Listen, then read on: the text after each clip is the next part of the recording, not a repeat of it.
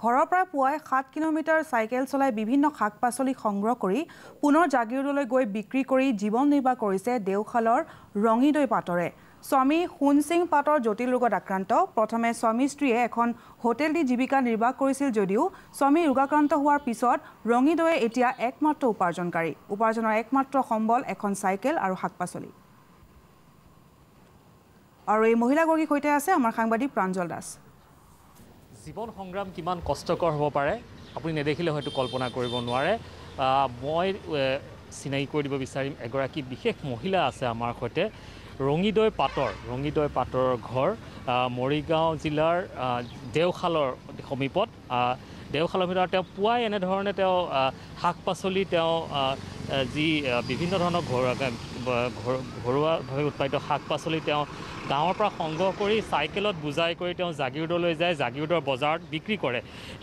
হয়তো সেইটো বৰ সেইটো এক স্বাভাৱিক কথা বুলিয়ে ধৰিব পৰা গ'লহেঁতেন। কিন্তু ৰঙিদৈ পাটৰৰ স্বামী তেওঁ কৰ্কট ৰোগত আক্ৰান্ত হৈ আছে। বিগত আঢ়ৈ বছৰ ধৰি তেওঁৰ যি যি চিকিৎসা সেই চিকিৎসা চলি আছে গুৱাহাটীত আৰু ঘৰৰ একমাত্ৰ উপাৰ্জনকাৰী ৰঙিদৈ বাইদেউ। আৰু ৰঙিদৈ বাইদেৱে ৰাতিপুৱাই এনেধৰণে প্ৰতিদিনে তেওঁ বিভিন্ন ধৰণৰ যিবোৰ শাক পাচলি সংগ্ৰহ কৰে সংগ্ৰহ কৰি তেওঁ জাগিৰোডলৈ যায় চাইকেলতে যায় তেওঁ। বিশেষ যিহেতুকে বেলেগ বাহন নাই।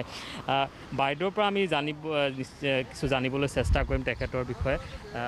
বাইদেউ কি কওকচোন কেনে কেনেধৰণে হয় আপোনাৰ ৰাতিপুৱাটো আৰম্ভণি? কি বজাৰৰ পৰা কেতিয়া ওলাই আহে? ৰাতিপুৱা শুই উঠি আমি ঘৰৰ কাম কাজ কৰি মোৰ পেচেণ্টজন মোৰ মানুহজনক মই খোৱাই বোৱাই গৈ ৰাতিপুৱা সাতটা বজাত ওলাই গওঁ। তাত গৈ পাওঁ আমি চাৰে সাতটা আঠটাত এনেকুৱাত পাওঁ গৈ তাত বেচা যোৱা নোযোৱা সেইবিলাক হেৰি কৰি কিনে আমি তাত যিখিনি পাওঁ সেইটো বেছি কৰি আমি আহোঁ আৰু। কি হৈছে আপোনাৰ হাজবেণ্ডৰ? তেখেতৰ নামটো কি? সোণসিং পাটৰ মোৰ হাজবেণ্ডৰ নামটো হ'ল সোণসিং পাটৰ। তাৰ কেঞ্চাৰ বেমাৰ হয়। প্ৰায় আঢ়াই বছৰ ধৰি হৈ আছে। আপুনি যে এই ব্যৱসায়টো কৰে শাক পাচলি নি পেলাই আপুনি জাগিৰোডত চাইকেলত লৈ যায় সেইটো তেখেতৰ বেমাৰৰ আগৰ পৰা নে নে পিছত আপুনি এইটো কাম কৰিবলৈ পাৰে বেমাৰৰ পিছৰ পৰা মই কৰিব লগা হৈছে। মই হোটেল কৰা আছিলোঁ আগতে যেতিয়া নেকি এইটো বেমাৰটো ধৰা পৰিছে বেমাৰটো ধৰাৰ পিছত দুইটাও মানে হোটেলত মানে আমি দুইটাও মেনেজমেণ্ট কৰি কিনে দুইটাও চলোৱা আছিলোঁ। যেতিয়া লাগিনে তাই বনোৱা কাম কৰে মই এইফালে বেচা বিক্ৰী হেৰি দিয়া কৰি আছিলোঁ। তেতিয়া মানে এইটো বেমাৰটো যেতিয়া ধৰা পৰিলে তাৰপিছৰ পৰা মানে হোটেলটো মোৰ বাদ দিব লগা হৈ গ'ল। তাই কৰিব নোৱাৰা হৈ গ'ল।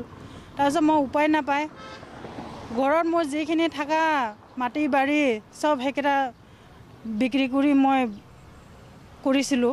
হেৰি হয় মাটি বাৰী বিক্ৰী কৰি কিনি মই এইবিলাক হেৰি কৰি কিনি মই ট্ৰিটমেণ্টটো কৰাইছিলোঁ।